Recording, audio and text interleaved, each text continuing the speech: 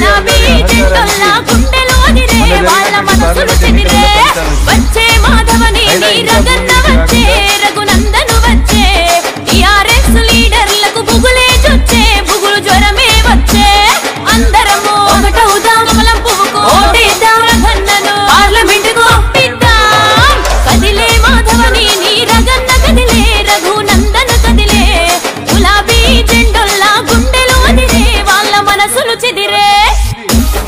party